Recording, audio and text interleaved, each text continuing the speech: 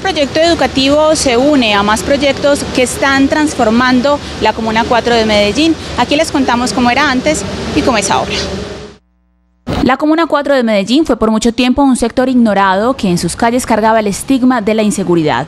Poco a poco el progreso ha llegado a esta zona en donde hoy se conjugan obras educativas, recreativas, culturales y de salud.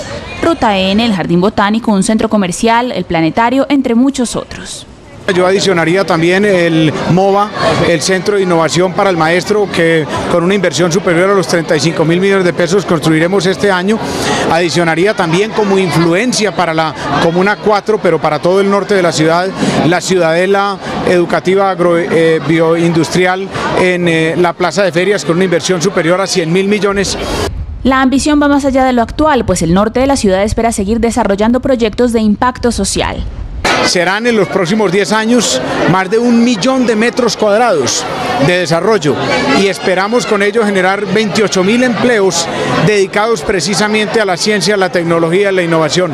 La meta es que a 10 años este sector de Medellín, que en la última década ha construido más de 5 proyectos de ciudad, se consolide como un centro de innovación y cultura. Y justo al frente de la institución educativa Javier Alondoño están construyendo el Centro Integral de Atención Ambulatoria para la Mujer y la Familia, por supuesto otro proyecto que seguirá aportándole al desarrollo urbano de la Comuna 4 de Medellín. Es la información que registramos para Hora 13 Noticias, cubrimiento total.